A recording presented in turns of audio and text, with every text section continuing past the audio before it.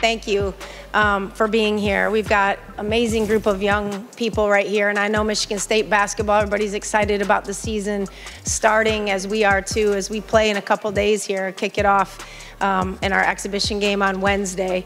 So uh, thank you again for being here, supporting this group this group of girls. I'm just so excited about them, the chemistry. I mean, we've been having fun and the season hasn't even started yet. I mean, this has been like an amazing group of girls to come in with, and the group that I'm leaving with, I couldn't be happier.